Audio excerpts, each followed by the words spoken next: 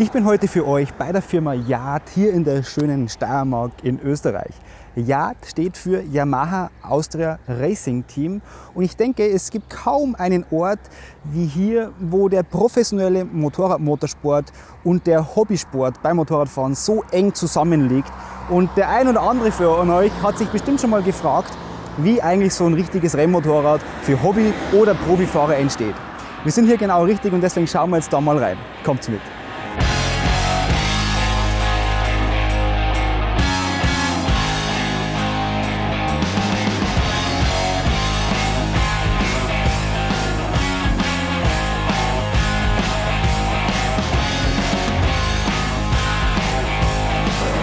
So, jetzt haben wir da in diesem Showroom, in dem Eingangsbereich von der Firma Yard und schaut euch das einmal an, was wir da haben. Das ist irrsinnig. Also da kommt jetzt quasi der Kunde rein und äh, tut sich treffen mit Mandy zusammen und macht einmal ein Verkaufsgespräch oder Analysegespräch eigentlich, weil im Endeffekt ist ja eigentlich erst einmal entscheidend, was braucht denn der Kunde überhaupt, ich als Fahrer, du als Fahrer, was hast denn du überhaupt für Bedürfnisse, was hast du für fahrerisches Können, welche Rennstrecken fahrst du denn ähm, und was hast du für Erfahrung.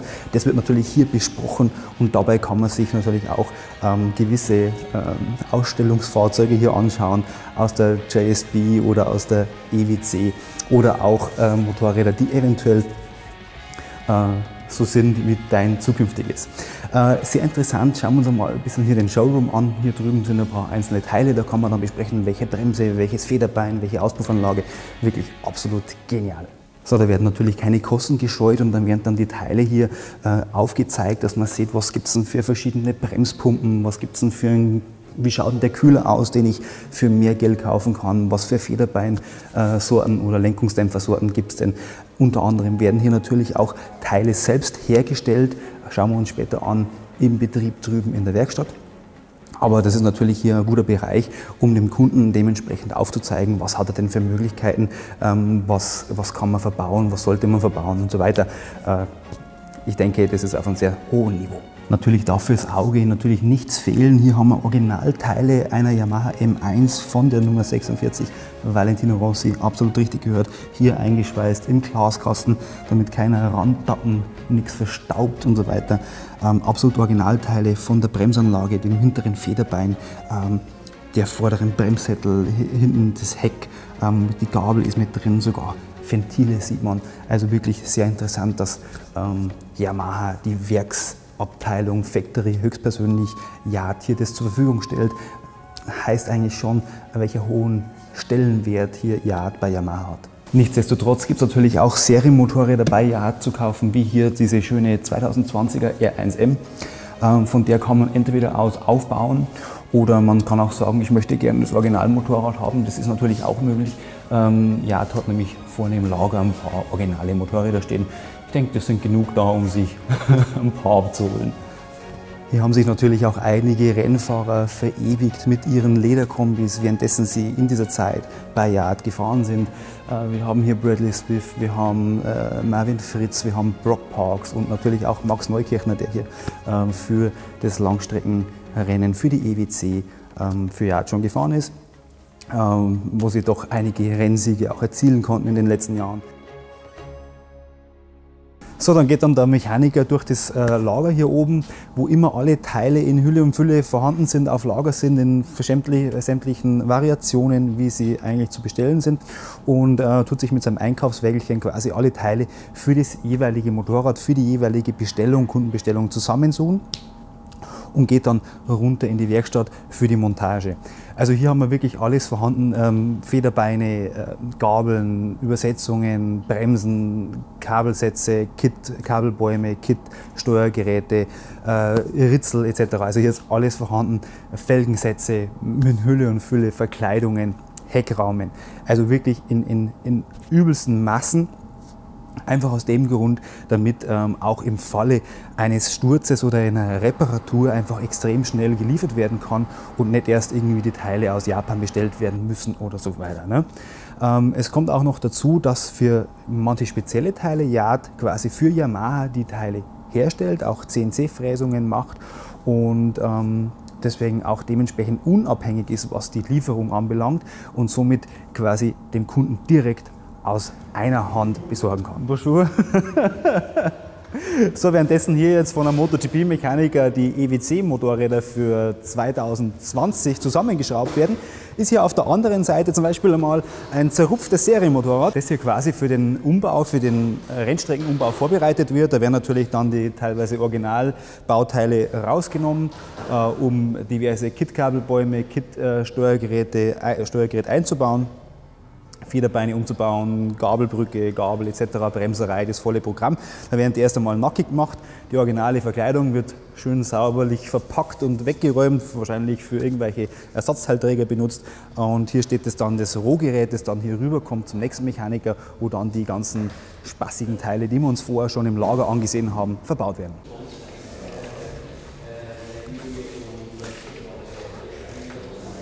So, dann kommt das Motorrad darüber und das ist jetzt in dem Fall das äh, Superbike vom Seigerhorst. Das schaut jetzt noch ein bisschen radikal aus. Sie sind aber sehr motiviert, denn heute ist Mittwoch und das Motorrad soll am Freitag ausgeliefert werden. Ähm, für uns sieht das jetzt ein bisschen radikal aus, aber im Endeffekt sind da die wichtigsten Sachen drin. Die ganze Elektronik ist fertig, die äh, Gabel ist fertig, die Bremserei ist fertig. Da fehlt eigentlich nur noch so ein bisschen Verkleidung und Tankhaube und der Tank persönlich.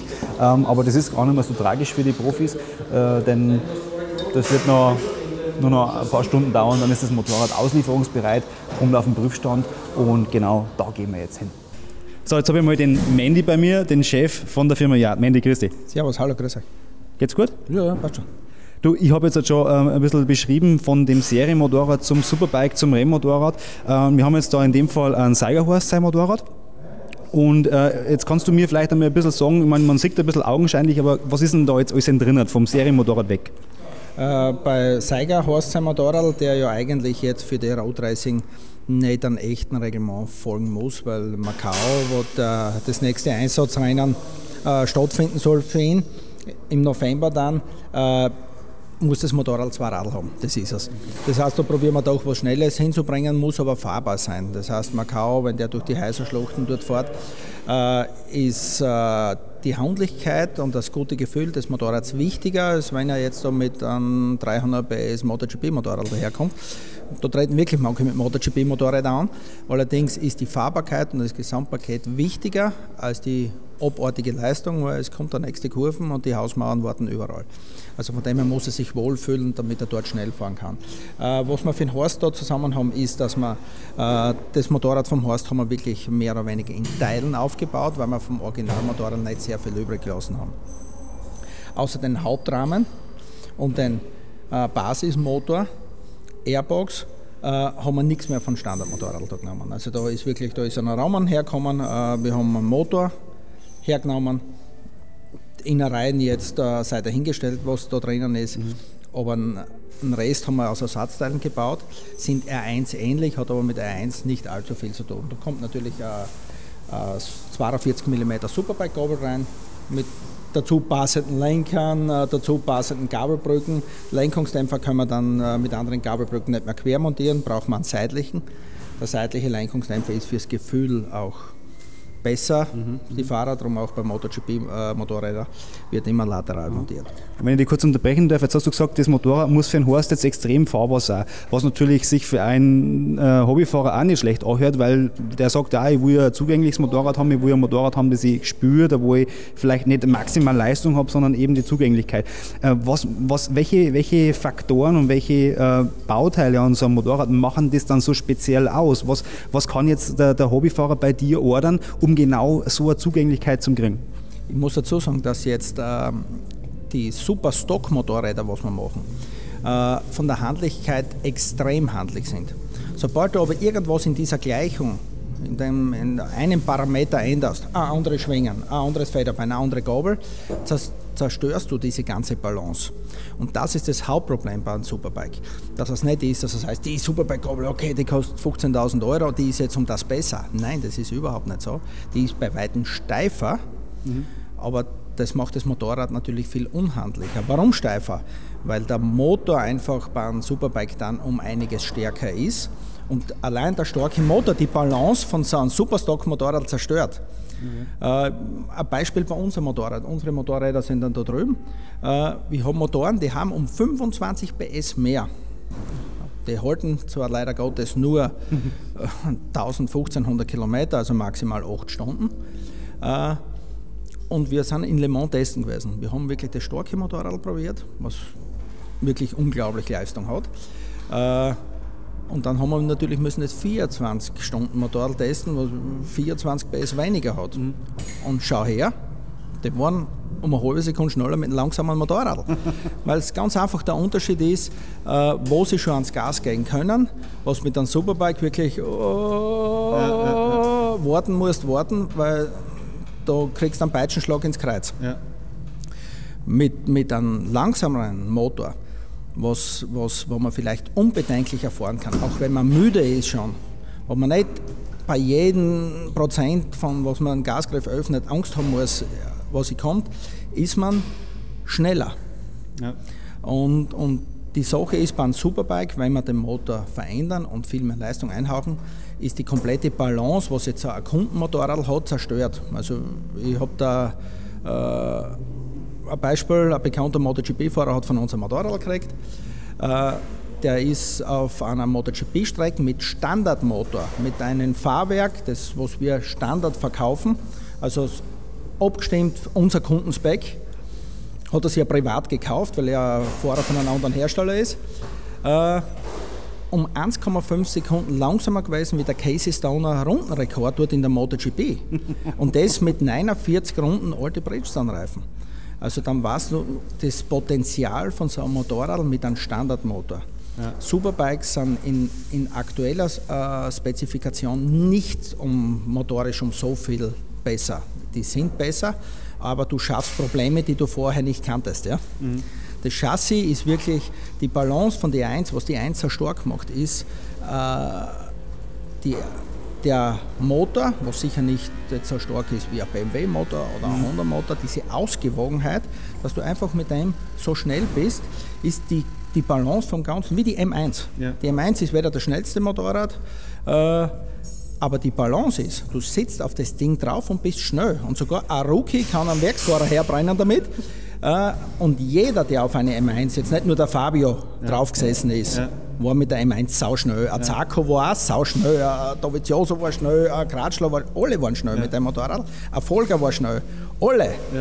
Das heißt, das ist so ausgewogen, das ist für jeden, jedermann so leicht zu fahren, das Motorrad. Und das Gleiche haben wir mit der 1. Du sitzt auf das Motorrad drauf, wir haben jetzt gerade da eine Kundschaft gehabt, äh, der nach 13 Runden seinen Streckenrekord in Rijeka gefahren ist mit dem Motorrad, was er vorgestern gekriegt hat. Ja. Also von, von dem her müssen wir sagen, das ist das Gesamtpaket ja. und das ist wichtig. Ja. Ist es denn auch so, dass jetzt zum Beispiel, mir erreichen ja viele Fragen, dass ein Hobbyfahrer, so ein typischer Hobbychauffeur, der im Brünn meinetwegen 225 fährt oder so, ähm, der sagt, der sagt zu mir, ja, das rentiert sich gar nicht, dass man so ein Motorrad kauft.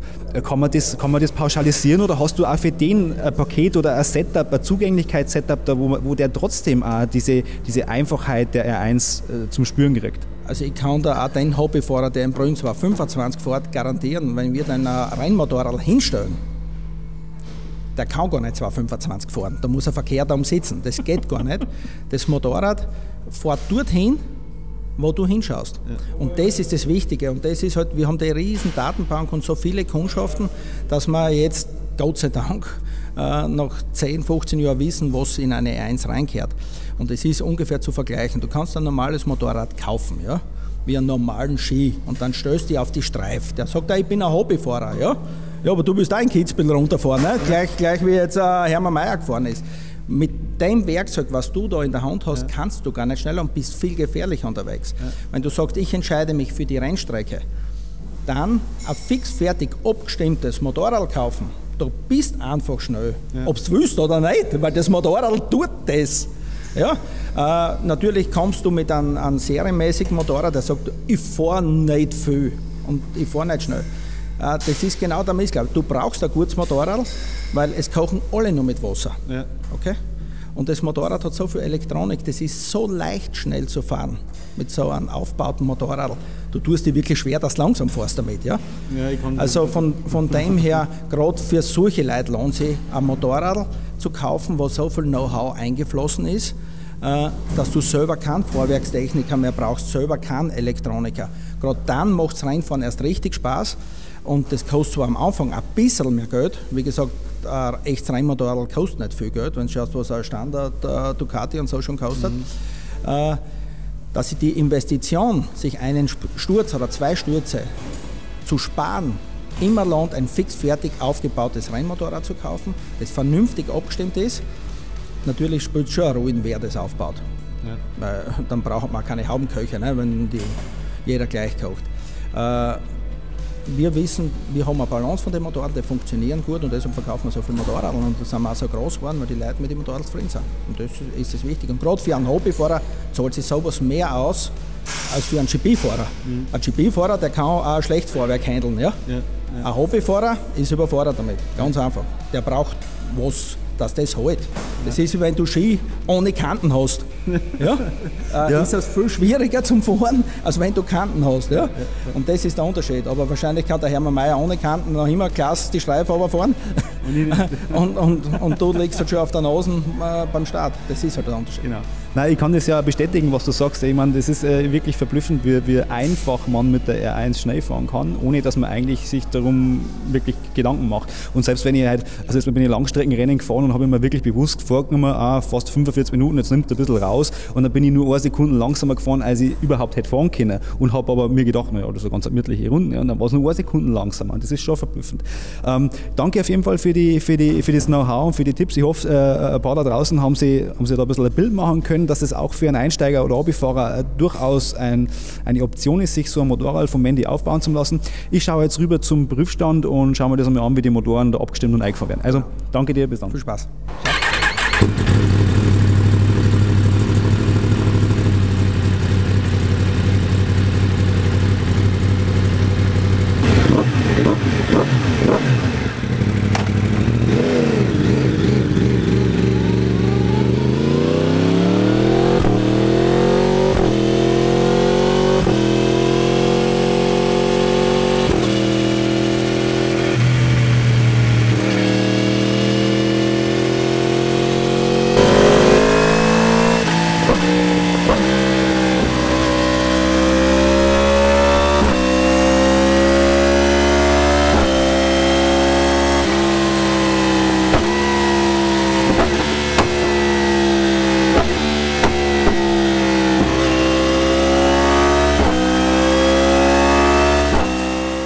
Jetzt da in, in der Kammer des Grauens, kann man fast sagen, vom Geruch her zumindest. Aber äh, ich denke eher, da werden ganz tolle Sachen gemacht. Der Christian ist neben mir. Der Christian hat hier einen Prüfstand fürs Motorrad. Und äh, Christian, was machst du da so? Ja, wir stimmen das Motorrad vorher erst einmal ab. Also zuerst, bevor wir abstimmen, werden wir mal, tun wir mal einfahren. Und dann äh, wird das Motorrad abgestimmt, dass es möglichst viel Leistung hat und nicht kaputt geht. Also du hast gerade gesagt, einfahren. Unter einfahren äh, stellt sich der ein oder andere da draußen vielleicht vor, naja, 2000 Kilometer auf der Landstraße fahren. Äh, fahrst du da 2000 Kilometer auf dem Prüfstand? Das wird sich dann für die Auslieferung heuer nicht mehr ausgehen. Ähm, nein, wir, wir machen das, ich habe mir da äh, was überlegt und seit wir das machen, funktioniert das eigentlich recht gut. Wir haben sehr gute Rückmeldung. Die Motoren gehen nicht mehr so schnell kaputt. Ja. Und das Ganze dauert so 30 Minuten, 25, 30 Minuten und dann ist das Ding eingefahren. Okay, also du, du, du, du, also, man, du hörst es, du lässt es so raushören, du hast ein Geheimrezept dafür. Geheimrezept würde ich nicht sagen. Ganz einfach fahren, ein bisschen warm fahren, das ist ganz wichtig. Schauen, ob irgendwo Lecke sind. Äh, und dann fahren wir das Ding einfach mal 25 Minuten, dann sieht man, was passiert und dann wird es einfach abgestimmt, dann ist es sowieso eingefahren für die Rennstrecken perfekt. Ja, also mein Motorrad habe ich auch damals so gekriegt, toi toi äh, hat nichts gefällt. äh, was hast du denn jetzt da drauf? R6 in dem Fall? Ne? Also was hast, ist da motormäßig was gemacht oder ist das ein Stockmotor? Nein, das ist ein ganz normaler Stockmotor mit einem anderen Auspuff und einer Kit-Elektronik. Und das tust du dann quasi auf den Auspuff hin abstimmen oder so? Genau, richtig. Hast du da äh, starke Toleranzen von einem auf den anderen Motor oder von einem auf den anderen Motorrad, dass du sagst, ah, da haben wir schon PS-Abweichungen, oder ist es immer wieder gleich? Es ist ähnlich, äh, gibt natürlich überall Toleranzen sagen wir so. Es ist aber sehr ähnlich. Und wie hoch sind die Toleranzen so, wenn du sagst? Äh, bei der R6 nicht so hoch, 3 bis, oder kann man eigentlich allgemein an 3 bis 5 bei ist irgendwo, dass man so, das ist noch im Toleranzbereich, sagen wir mal so. Und bei der R1? Ähnlich, also ab 3 bis 5, aber wie gesagt, das ist halt auf dem Prüfstand mit dem, was wir zusammenbauen neu, da kann ich garantieren, dass der Toleranzbereich richtig ist. Wenn dann irgendwo anders ein Motorrad herkommt, kann ich den nicht mehr garantieren, weil ich nicht mehr weiß, wie es zusammenbaut ist. Und da rüber habt ihr jetzt noch einen Prüfstand quasi, wo man direkt einen Motor aufspannen kann, oder sehe ich das richtig? Ja, das ist richtig. Da kann man direkt einen Motor aufspannen. Ähm, ist eigentlich gedacht dazu, um Entwicklungen durchzuführen. Das heißt, so wie wenn man irgendwas testen will. Für Superbike-Motoren oder Supersportmotoren Eingradung testen geht da recht schnell. Das heißt, abstellen, aufmachen, umdrehen, nochmal probieren. Das heißt, da wird quasi der 24 Stunden äh, für Le Mans Motor aufgespannt, wird 24 Stunden georgelt und dann wird eingeschaut, ob geschaut, ob er noch lebt oder was? Äh, Im Moment noch nicht, aber in weiterer Zukunft ist es so eigentlich geplant, ja. Alles klar, Christian, danke dir für deine Zeit. Jetzt schaue ich dir dann später noch zu, wenn du mal äh, schönes Motorrad da mal auf Touren jagst. Und dann wünsche ich dir noch einen schönen Arbeitstag. Danke, ich dir auch. danke.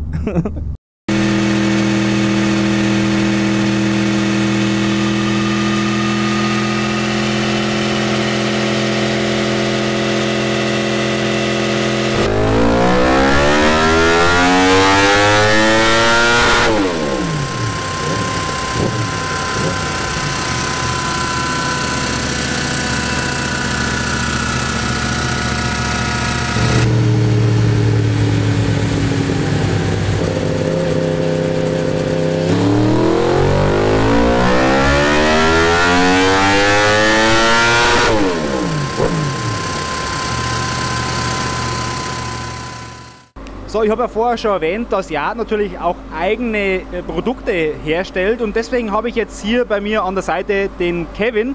Äh, Kevin, erzähl mir, was machst du da für Yard genau? Also ich mache die 3D-Zeichnungen, mache ähm, die ganze CAM-Programmierung für die CNC-Fertigung. Zurzeit haben wir eben nur eine CNC-Fräse. Ähm, wir planen in Zukunft eine CNC-Drehbank zu kaufen, aber zurzeit ist es eben nur Fräs, sind es nur Fräsarbeiten, was wir machen. Okay. Ähm, Drehteile geben wir dabei noch extern. Und äh, ich mache eben von die, vom Design, von den Zeichnungen für die Teile bis hin zur Fertigung eigentlich die Planung und teilweise auch die Umsetzung. Okay, und, und äh, welche, welche Teile fürs Motorrad, dass sich der Zuschauer jetzt vorstellen kann, äh, es gibt ja verschiedene Teile, die ihr macht, aber was ist denn jetzt speziell, wo man sagt, das kann man jetzt nicht einfach irgendwo im Laden kaufen oder beim, beim Motorradteile-Zulieferer, sondern was ist jetzt diese spezielle Teile, die du quasi produzierst, kann man ja sagen, oder? Ja, also wir machen für Kunden machen wir eben Teile wie Tankdeckel oder Schnellwechselsysteme oder Gabelbrücken. Man, das sind eher Sachen, wo wir höhere Stückzahlen machen. Ähm, aber wir machen eben, was eigentlich der Grund ist, warum wir uns die Maschine gekauft haben, ist für unser Factory-Motorrad, dass wir selber Teile machen können äh, oder Spezialteile dafür anfertigen, wenn wir was brauchen, was Spezielles, äh, dass wir das auch selber fertigen können, beziehungsweise dass wir Spezialteile in kürzester Zeit ähm, in der Hand haben. Weil wenn man, wenn man das ex, man kann, wir können zwar Teile zeichnen, haben vorher Teile zeichnen können, aber bis die dann fertig waren, also dass man die fertig in der Hand hat, sind oft zwei, drei Wochen vergangen. Und, und wie viel Zeit vergeht, wenn du es selber machen kannst? Ja, wenn wir, wenn wir wirklich jetzt dringend was brauchen, reden wir von zwei, drei Stunden. ja, Leute, da sieht man auf jeden Fall, das ist äh, Professionalität äh, vom höchsten Maße. Und die Maschine läuft jetzt gerade. Äh, was, was macht die jetzt im Moment? Jetzt im Moment machen wir gerade für eben unser Factory-Motorrad die Gastregriffe, weil seit 2020 ist das, ist das Motorrad ja Gas by Wire und somit können wir nicht mehr die normalen Seilzüge verwenden. Und das Originalteil können wir auch nicht verwenden, weil wir nicht genug Platz am Lenker haben. Deshalb haben wir unser eigenes Gehäuse gemacht, was dann natürlich auch etwas racingmäßiger ausschaut und das Aluminium ist, das heißt, es um einiges ähm, mehr aushaltet. Das ist natürlich der absolute Wahnsinn. Man baut sich einfach schnell seinen eigenen Gasdrehgriff. Schaut da ein bisschen mit rein. Ich zeige euch das auf jeden Fall. Kevin, ich sage danke für die Auskunft und noch viel Spaß beim Arbeiten. Danke, gerne. Jetzt bin ich quasi da in dem Gehirn der Firma Yard, der Motorenschmiede beim Sepp. Sepp, grüß dich. Servus. Du, äh, jetzt ist ja so, wir haben jetzt da schon einiges gesehen, die ganzen Rennmotorradl, die Superbike, ein Seiger seine und ich habe ein bisschen, was die Leute sagt. Und es ist natürlich jetzt das Herz der Motor ja auch ein Thema. Und es ist da die Frage, was, was machst du eigentlich an so einem Motor, wenn der auf die Rennstrecke geht, so ein, so ein, so ein Rennmotorradl? Was machst du an dem Motor so? Es kommt immer darauf an, was für ein Reglement. Okay. Ob Stock oder Superbike oder EWC, 8 Stunden, 24 Stunden, das ist alles verschieden. Und für einen Hobbyfahrer jetzt, wenn jetzt einer kommt, so wie ich, oder jemand da draußen, der sagt, er lässt sich jetzt von Jahr so ein Rennmotorrad aufbauen und will ein bisschen investieren und sagt, ich habe noch ein bisschen ein Budget für den Motor über. Was, was darfst du denn da so vorschlagen oder was machst du an dem Motor so? Also im Endeffekt das Beste ist, wenn man Stockregel macht. Ist vom Geld her das Interessanteste. Bringt so 2-3 PS. Das heißt 2-3 PS, wenn man es richtig versteht, 2-3 PS und dann muss aber den Motor aufmachen, ja. oder? Ja, sicher. okay, und was, was muss da an, an, der Hardware gemacht werden, dass man 2-3 PS, wirklich echte PS kriegt an so einem Motor? Das Problem ist, dass es richtig viel Auto ist, weil du alles messen musst. Also angefangen von Kolben über Laufspiel, über äh, Kurvenlaufspiel, Bläuel, wie auch immer. Und das ist das meiste. Das heißt, es geht quasi äh, darum, um ähm, Perfektion in den, in den Kolbenspielen, in den Lagerspielen zu kriegen, um da dieses letzte Fünkchen an Leistung zu generieren. Ja, je weniger Reibung, desto mehr Leistung. Okay, quasi Tuning, das teuer ist, obwohl man nicht viel, viel, viel Material versenkt, sondern im Endeffekt lediglich die Arbeitszeit. Ja, ist richtig, aber du hast noch einen Vorteil, es ist mehr haltbar. Ah, okay. Wie Standard, weil wenn die bei Standard spielen, bist auch oft zu eng und dann wird es halt nicht so lange halten. Okay, ähm, und ist es auch so, dass die Motore, ähm, die jetzt vom gleichen Motorrad kommen, auch unterschiedliche Toleranzen, unterschiedliche Spiele, unterschiedliche Maße haben? Oder kann man da sagen, man nimmt da Pi mal Daumen so ein typisches, besseres Maß, Kolbenspiel, Lagerspiel her? Es gibt, sagen wir so, es gibt ein Kolbenspiel und es gibt ein Lagerspiel, ja. weil es ist nicht jeder Motor gleich. Also durchaus definitiv äh, hohe Toleranzen ja. im, im, Motor. Und äh, wenn man jetzt ein bisschen weitergeht und sagt, okay, ich jetzt, möchte jetzt perfekte Toleranzen haben, aber ich gehe jetzt aus dem Stockreglement ja. ein bisschen raus und investiere noch ein bisschen was in Hardware, was war so das nächste, wo man sagt, da wäre das richtige Invest an Hardware? Das Problem ist, dass es dann richtig teuer wird. Also da sind wir Superbike-Niveau. Und ohne Nockenwellen und dann sind wir dann schon, haben wir keine Möglichkeit sagen wir so. Okay. Okay, also das heißt, man braucht quasi mindestens dann die Nockenwellen? Ja, und dann fangen wir zum Kopf machen an. Und dann wird es teuer. Was haben wir bei meinem Motor eigentlich gemacht? Das weiß ich gar nicht mehr. Dein Motor ist, sagen wir, haltbar Superbike. Haltbar. ja. ja, weil wenn wir ausgehen, dass die Superbike rechnet mit 1500 Kilometern, ist deiner haltbar? Mhm. Ja, ich habe jetzt 3800 Kilometer gefahren und er läuft immer noch wie am ersten Tag. Aber ich denke, du hast eh schon gesagt, wir sollen jetzt dann einmal die Revision angreifen. Ne? Ja, das Problem zum Beispiel bei deinem Motor ist, natürlich fängt man an 5, 6 PS, nur ist halt dann 2000 Kilometer weniger. Ja. Das steht dann in keiner Relation. Deswegen investieren wir jetzt lieber in ein vernünftiges Data Recording, um da mal zu schauen, wo noch bei mir zum Holen ist und nicht an, an der Leistung. Das wäre für viele gescheit. Jetzt haben wir gesehen, äh, jetzt habt ihr einen Langstrecken-WM-Motor, der 24-Stunden-Motor, der jetzt im August gefahren wird, der geht jetzt drüben auf den Prüfstand. Äh, was stecken in so einem Motor drin oder wie machst du das, dass du das quasi, wie kann man das quasi garantieren oder, oder was macht man dafür, dass man weiß, der hält die 24 Stunden Vollgas? Das ist ein Riesenthema, oder? Äh, ja, schon, aber im Endeffekt vom Stockreglement oder fast Serie, da geht es rein um Lagerspiele, und ums gute Einfahren und das machen wir im Prüfstand. Und wie lange wird er am Prüfstand da eingefahren für das? Der Christian fährt sicher dreiviertel Stunde, Viertelstunde abkühlen und dann mappen, nochmal eine Stunde, dann ist er eingefahren. Das heißt quasi zwei Stunden einfahren für 24 Stunden Rennen. Genau. Und danach kann man quasi wegschmeißen? Nein, die letzten, also die, was funktioniert haben, sind wir nachher noch 1000 Kilometer draufgefahren, dann habe ich es zerlegt, war eigentlich wie normal. das ist schon heftig, 24 Stunden dann schon lang. Ja, es sind knapp 4000 Kilometer. Ah, Wahnsinn, in 24, das ist brutal. Ja, äh, also äh, sehr interessanter Einblick da in, in das Langstrecken-WM-Team, in die Motortechnik. Ähm, ich schaue jetzt dann um mich auf den Prüfstand, wenn der Motor eingefahren wird. Ich habe ja schon einen Prüfstand wieder gesehen. Und Sepp, ich bedanke mich für die Zeit und wünsche dir äh, viel Spaß beim Schrauben und noch viel Glück in der 24 Stunden bei Le Mans. Danke, wünsche dir auch alles Gute. Danke. Ciao. So, ich denke, wir könnten stundenlang hier durch diese Firma spazieren und uns alles anschauen, was die so machen und uns die Rennmotorräder anschauen und träumen davon, dass man sowas vielleicht zu Hause stehen hat. Was mich im Endeffekt am allermeisten beeindruckt, ist diese Perfektion und das alles, was aus einer Hand kommt und äh, dieses Motorrad, das so irrsinnig einfach und schnell zu fahren ist. Ähm, diese Kombination macht das Ganze sehr, sehr einzigartig und die schon bereits vorhandenen Kunden von Yard können das durchaus bestätigen.